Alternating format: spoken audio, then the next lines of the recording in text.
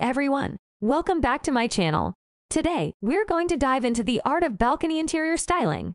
Whether you have a small urban terrace or a spacious outdoor space, we'll show you how to transform it into a cozy oasis that reflects your personal style. So let's get started. Assessing the space.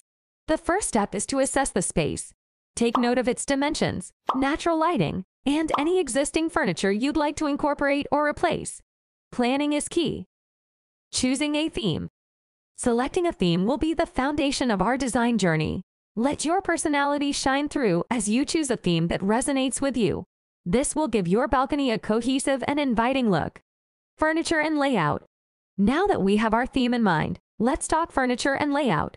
Choose multifunctional furniture that suits your theme and lifestyle.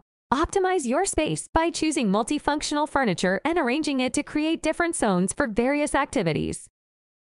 Green up the space. Plants bring life, color, and a touch of nature to any balcony.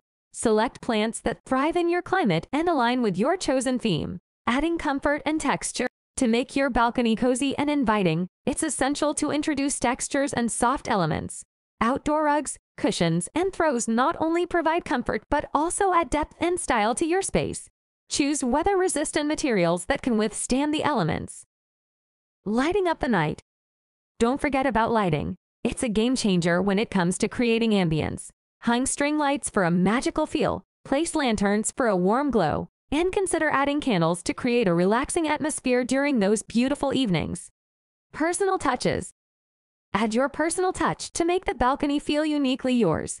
Display cherished memories in picture frames. Incorporate candles for a cozy touch. And sprinkle in decorative objects that complement your chosen theme. These details make all the difference. Thank you all for joining us on this balcony styling journey. We hope you found inspiration and practical tips to turn your own balcony into a dreamy retreat. If you enjoyed this video, don't forget to like, subscribe, and share it with your friends. Until next time, happy styling!